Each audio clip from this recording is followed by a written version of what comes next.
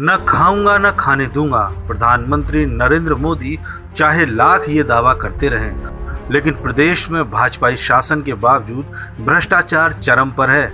ऐसे ही एक बड़े पैमाने पर हुए भ्रष्टाचार का खुलासा सपोर्ट इंडिया संगठन ने किया है, जिसके पदाधिकारियों ने आरटीआई के तहत मांगी गई जानकारी मिलने पर दांतों तले उंगली दबा ली। संगठन के अध्यक्ष सुरेश चंद सोनी एडवोकेट ने बताया कि ग्राम पंचायत बलहरा ब्लॉक अकोला में विकास कार्यों के नाम पर सरकारी धन का बड़े पैमाने पर दुरुपयोग किया गया है। यहाँ पर कागजों पर ही काम दिखाकर लाखों रुपए के बिल दिखा दिए गए, जबकि धरातल पर तस्वीर बिल्कुल इधर रही। ये ब्लॉक अकोला है, जिसमें ग्राम पंचायत है बलेरा।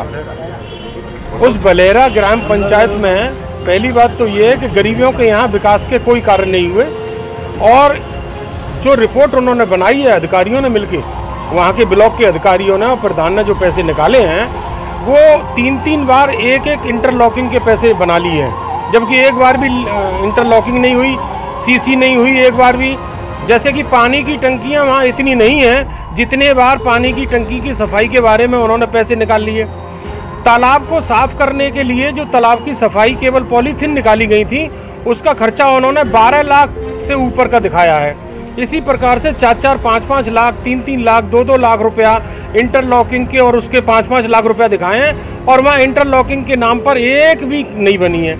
चिकनी मिट्टी डाली गई है जिससे कि दलितों का पानी जो है तालाब में जाने से रुका है और उसके कारण दलितों के इलाके में पानी भर गया है जिससे कि बीमारियाँ फैल रही हैं। डीएम साहब ने एक आईएएस ऑफिसर की जो है नियुक्ति की है और वो इस मामले में तत्काल प्रभाव से वहाँ जाएँगे और हमको उनके पास भेजा है हम अभी उन्हीं के पास जा रहे हैं और वो इसकी जाँच करें लोग गाँव बरेला में जो ग्राम प्रधान हैं उनके द्वारा और वहाँ के जो संबंधित अधिकारी हैं उन्होंने सत्तर लाख रुपए का घोटाला किया है, जो ग्राम के अंदर जो विकास होने थे और जो तालाबों की सफ़ाई होनी थी और जो खरंजे और जो मैट लगनी थी, वो नहीं किए गए हैं। उन्होंने सरकारी खजाने से जो पैसा लिया है, सत्तर लाख रुपए, उसमें कोई भी काम नहीं किया है। इसी संबंध में आप, हम जिलाधिकारी महोदय को ज्ञापन देने के लिए आए हैं और उन्होंने एक अभी आदेश किया है, वहाँ पर जो जॉन मजिस्ट्रेट हैं, जो आईएएस अधिकारी हैं, वो इसकी जाँच करेंगे और जल्द से जल्द जाँच करके सख्त कार्रवाई करेंगे।